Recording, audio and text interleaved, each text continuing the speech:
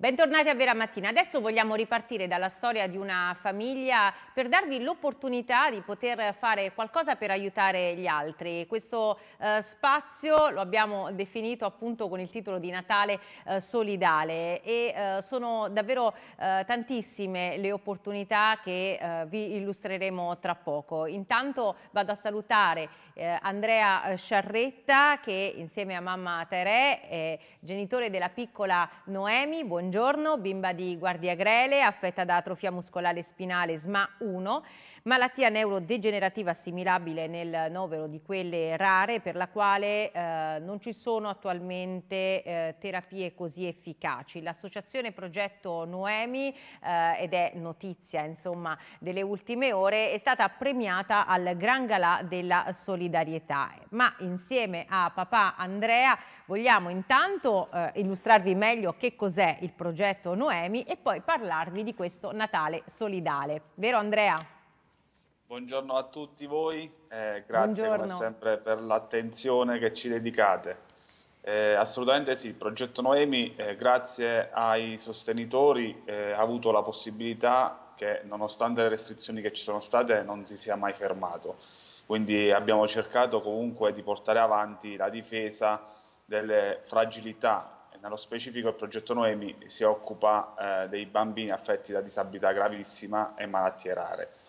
In questo periodo siamo eh, presi con il Natale solidale, praticamente è possibile acquistare il panettone solidale progetto Noemi con una, piccola donazione e cercare di sostenere gli obiettivi che portiamo avanti. Eh, notizie di poche ore fa è che abbiamo deciso di dedicare il ricavato eh, del Natale solidale per un'importante donazione che eh, avverrà eh, per il, il reparto di terapia subintensiva pediatrica in ASL di Pescara, un reparto che sosteniamo eh, dalla sua nascita, siamo stati propulsori per, eh, affinché ci fosse un riferimento regionale a favore delle disabilità gravi e, ehm, e grazie a, al momento natalizio cerchiamo di essere concreti, quindi eh, festeggiamo, eh, ci riuniamo insieme alle famiglie, cerchiamo di eh, essere positivi e propositivi, ma in più siamo anche concreti perché interveniamo eh, nelle realtà in cui molto spesso si investe sempre meno. Intanto in sovraimpressione mi rivolgo ai nostri telespettatori, potete prendere nota di tutte le informazioni per richiedere appunto il eh, panettone solidale in questo caso eh, con eh, ecco poi l'obiettivo che ha appena illustrato Andrea. Andrea, eh, che cosa ci puoi dire della piccola Noemi, come sta? Eh, insomma è una piccola guerriera e anche una grande artista devo dire, continua a disegnare?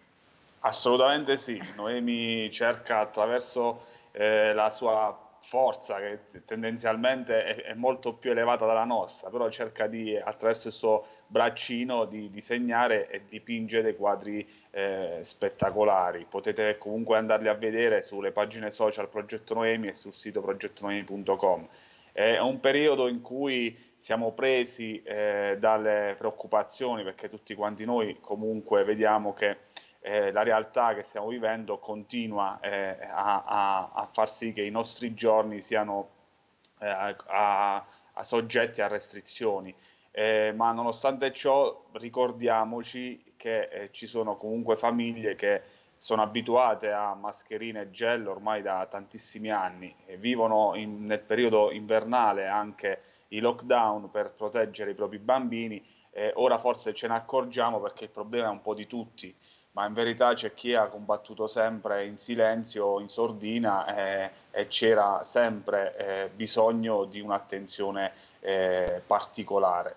Ehm, Noemi eh, attraverso la sua storia ehm, cerca di aiutare tutte le altre famiglie che in questo periodo hanno bisogno di aiuto. In più eh, noi come associazione siamo riusciti ad ottenere contributi economici a favore del, del genitore caregiver che assiste il proprio caro e un contributo regionale eh, che eh, attraverso l'associazione siamo riusciti a far sì che il lavoro di cura fosse valorizzato. Eh, però eh, insomma c'è bisogno che le famiglie eh, vengano eh, e ricevano un sostegno eh, congruo no? da parte eh, dello Stato, Andrea? Assolutamente sì, perché soprattutto in questo periodo eh, in cui diciamo, si è chiuso un po' tutto a livello nazionale, sì. eh, tutto ciò, le richieste di aiuto si sono eh, comunque tramutate all'interno del territorio, quindi sì. le associazioni che hanno fatto volonta del volontariato una missione di vita sono state sobbarcate da richieste perché comunque es esistono uh, problemi eh, ancora più eh, veritieri di quello che c'era prima perché eh, si è, è, aumentato il carico assistenziale e di fatto eh, non c'è eh, una presa in carico ancora efficace per queste realtà. Eh, l'assistenza domiciliare comunque deve essere formata adeguatamente e nella maggior parte dei casi il genitore, in particolare eh, la mamma, diventa eh, infermiere, logopedista, ehm, sì. medico eh, però eh, ha anche una vita la mamma, è come il papà, come tutta la famiglia. E permettimi di dire anche un lavoro che poi eh, è necessario proprio per portare avanti la famiglia. Io mh, ti domando come avete vissuto il periodo, specie quello del lockdown. Eh, il periodo del lockdown ovviamente l'abbiamo vissuto con grande paura perché eh, il genitore caregiver che ha la fortuna di lavorare, perché eh, quando si ha a che fare con le disabilità gravissime di questo tipo, come Noemi che è ventilata meccanicamente, non è in grado di, di, di mangiare so da sola, viene aspirata ogni 10 minuti, eh, quindi eh, un genitore eh, perde il lavoro non perché vuole, ma perché è costretta, perché deve assistere. Il papà eh, se è fortunato riesce a mantenere il posto di lavoro perché molte volte ci siamo trovati di fronte anche dei, a dei licenziamenti ingiustificati quindi chi ha la fortuna di lavorare nel periodo eh, del lockdown eh, ha vissuto un'enorme paura perché non c'erano tutele a favore dell'assistente di cura, quindi mettevamo a rischio eh, i nostri cari perché dovevamo comunque avere il sostegno economico. E lì è il sostegno economico, sociale e sanitario, quindi eh, bisogna cercare di eh, avere la consapevolezza che eh, quando si vivono le fragilità non bisogna ricordarselo quando è ampio il problema, bisogna eh, essere sempre e comunque eh, eh, attenti ai bisogni dei più fragili.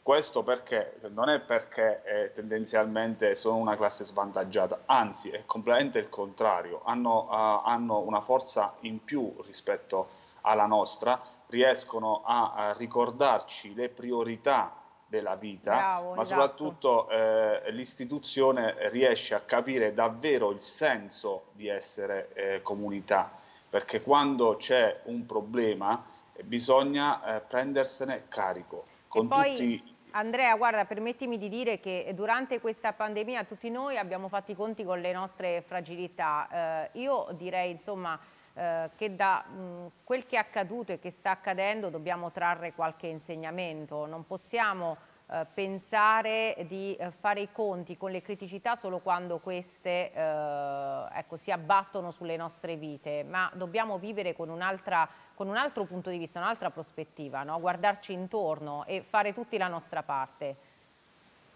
Assolutamente sì, questo deve essere tramutato in ognuno di noi, nel singolo, eh, perché bisogna un, cioè bisogna far sì che sia proprio un, un modus operandi eh, di, del, di, ognuno di noi. Eh, la disabilità non è solo eh, l'assistenza, è anche eh, le barriere architettoniche, lì eh, c'è bisogno soltanto di un'attenzione in più.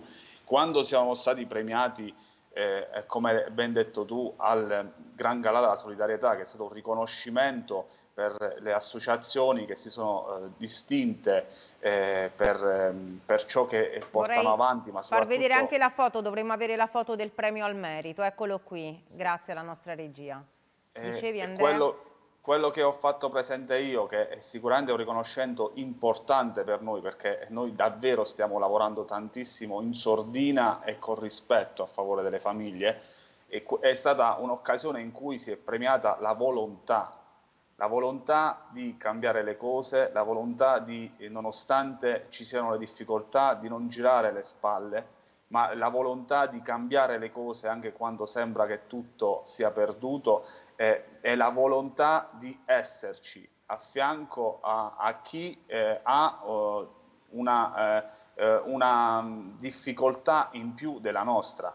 Quindi è lì è, è, è, soltanto ognuno di noi, bisogna soltanto lavorare proprio sulla forza di volontà. E allora mi rivolgo ai nostri telespettatori, se anche voi eh, avete la volontà di stare a fianco non solo alla famiglia Sciarretta, ma a tutti i bambini meno fortunati che hanno bisogno in questo momento, allora eh, ecco, acquistate un panettone, fatelo mh, mm, scrivendo a info-progettonoemi.com o inviando un messaggio al numero WhatsApp che vedete in sovrimpressione. Senza mai arrendersi, grazie ad Andrea Sciarretta, un bacio a Noemi e a tutta la vostra famiglia. Grazie davvero Andrea. Grazie a voi e tanti auguri a tutti, a tutti voi della redazione e ai telespettatori. Tanti grazie, auguri. Grazie davvero.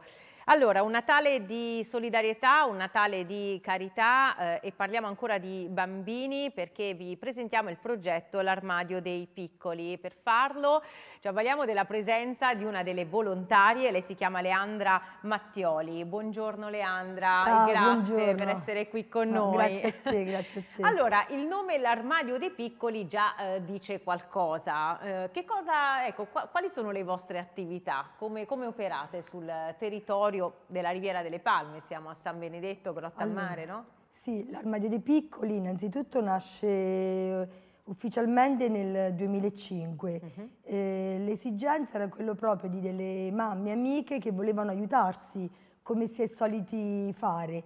Eh, aiutarsi quando uno ecco, non sta più bene le scarpe, magari i vestiti vengono dismessi. Come si faceva una volta. Come poi. si faceva una volta. E proprio da questo incipit che è nato poi si è strutturato in un'associazione.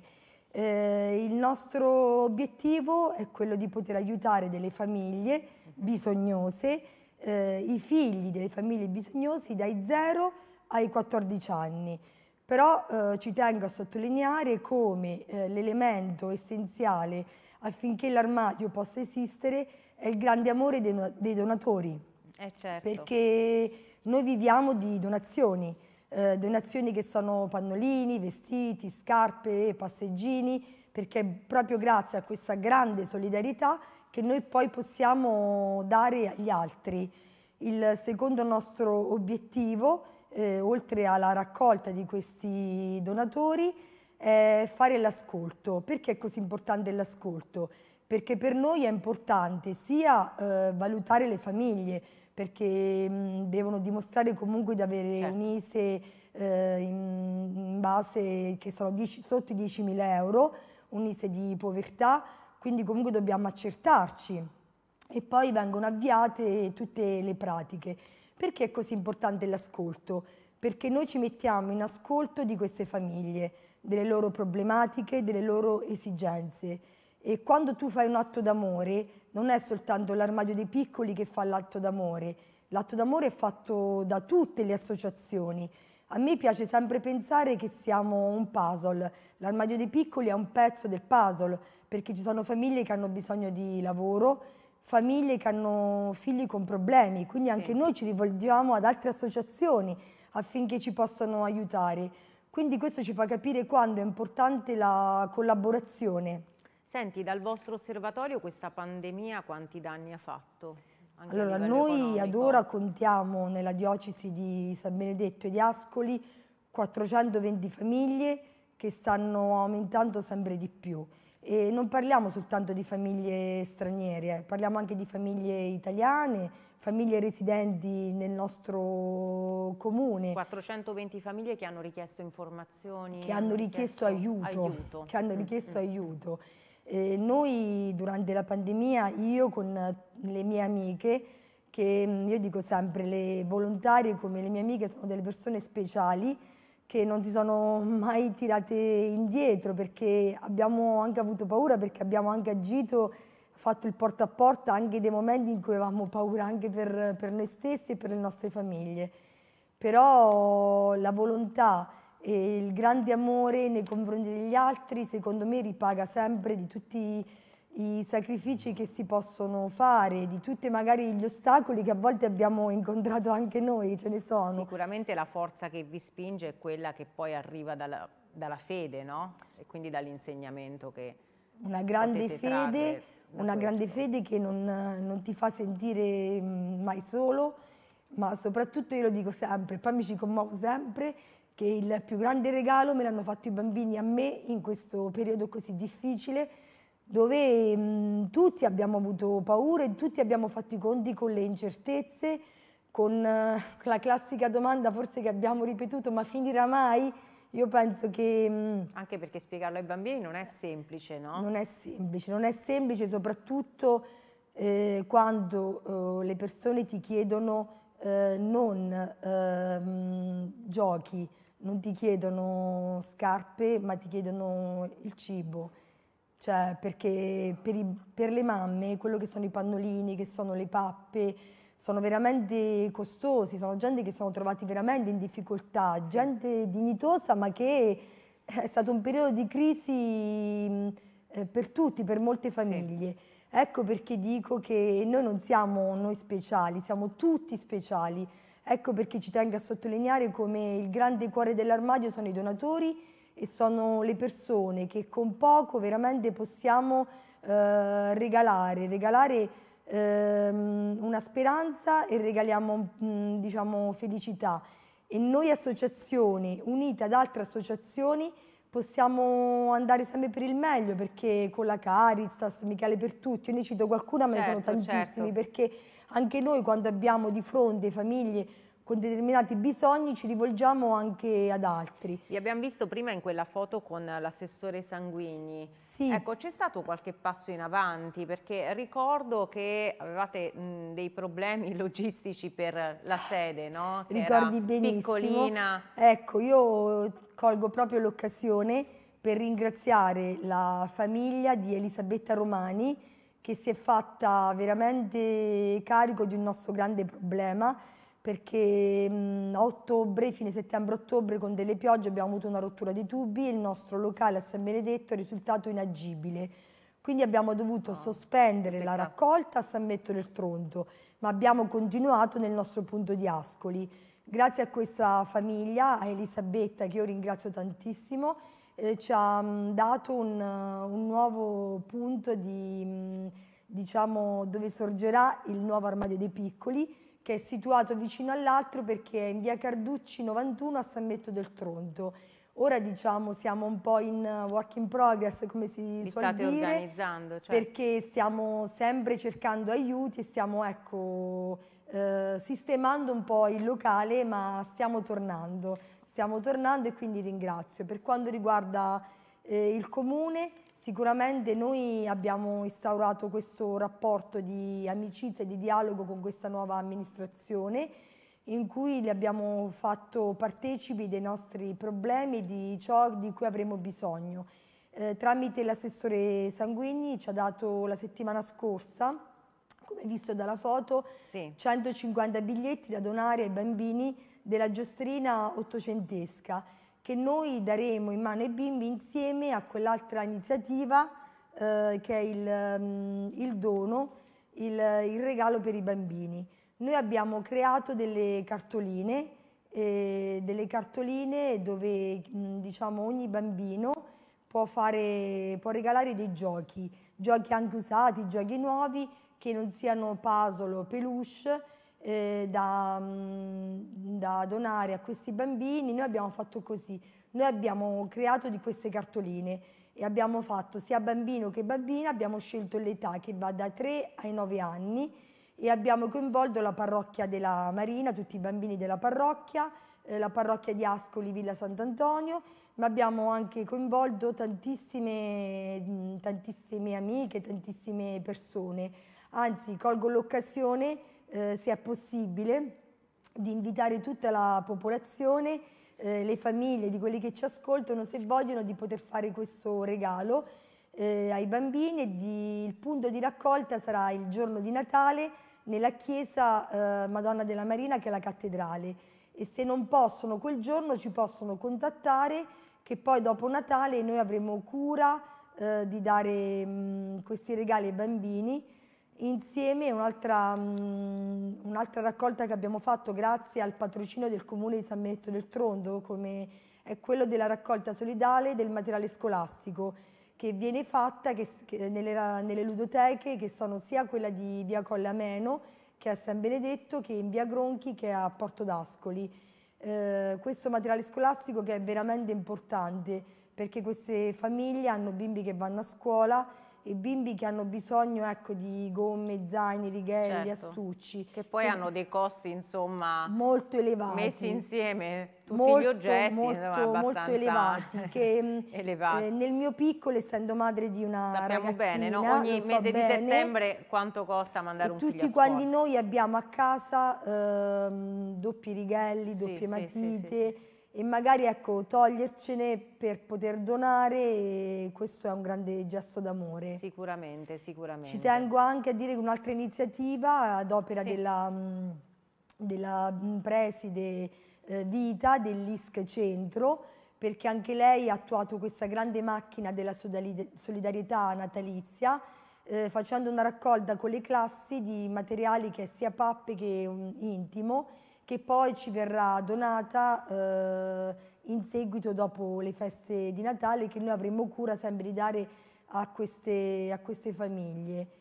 Abbiamo e... visto che questa raccolta eh, c'era proprio un periodo no? eh, da, da, metà fine novembre fino a metà dicembre. Metà dicembre. Ecco, ma se qualcuno volesse fare qualche spedizione lo può fare? Allora, sicuramente. Qui ci seguono insomma, da altre zone d'Italia. Se ci fosse insomma, un telespettatore particolarmente sì, generoso. Io se facendo una metafora voglio dire che il nostro armadio è aperto, quindi è come un armadio aperto, noi siamo sempre aperti, accogliamo tutti e quindi possono fare queste donazioni eh, alla nostra sede, eh, Armadio di Piccoli in via Carducci 91. Siamo sempre a San Benedetto, a San Benedetto del, del Tronto. Tronto, che siamo ben felici di accogliere eh, tutti, siamo felici anche di accogliere le famiglie che vogliono venirci a, mm, a trovare, eh, siamo disposti ad accogliere tutti i dirigenti scolastici che vogliono mettersi in gioco in, questa, in queste iniziative, anche perché poi nelle scuole si parla tanto di educazione civica e di mister cittadino. Beh, noi siamo il jolly perché noi possiamo andare nelle certo. scuole perché ci facciamo partecipi e se si posso può, per eh. ultimo certo, sì. ringraziare anche la parrocchia che ci ospita che è mh, la cattedrale, la Marina e ringraziare Don Patrizio in primis con Don Romualdo e Don Luciano perché loro ci sostengono e ci aiutano veramente eh, nel, nelle nostre iniziative quando poi ne abbiamo bisogno. Ecco la cartolina, io vorrei ricordare tra l'altro che è facilissimo insomma trovare l'armadio dei piccoli anche sui social, c'è sì. una pagina Facebook eh, sempre aggiornata dove ci sono tutte le informazioni ed è un modo anche quello per conoscervi meglio e contattarvi. Questo Natale eh, purtroppo è ancora segnato dalla pandemia e tra l'altro siamo in una fase particolarmente su, eh, delicata sul fronte dell'infanzia, no? a parte la vaccinazione per, eh, per i bambini. Insomma, mh, voi veramente operate sul territorio in modo lodevole per, per i più piccoli che insomma, eh, hanno eh, pagato anche loro un prezzo piuttosto alto da diversi lockdown che si sono succeduti stando in casa, non potendo andare a scuola, non potendo giocare e pensiamo che ci sono anche bambini che non possono giocare perché magari non hanno nemmeno il giocattolo in questo, in questo caso, no? quindi sì. eh, operate in modo davvero, davvero lodevole. Ecco, Qualcos'altro da ricordare? Vogliamo salutare tutte le volontarie, eh? da tutte, Stefania, Stefania Elena, Romina, eh, Francesca, tutte e soprattutto tutte le mamme, anche mie amiche, che spesso ci vengono ad aiutare perché quando abbiamo diciamo, ci vengono a portare, dobbiamo fare la distribuzione, dobbiamo comunque ecco, eh, sembrare, piegare, eh, sistemare, che non sembra però è un grande lavoro, quindi ringrazio sempre tutte le persone che gentilmente in maniera gratuita ci vengono ad aiutare. Quanto tempo dedicate a queste attività?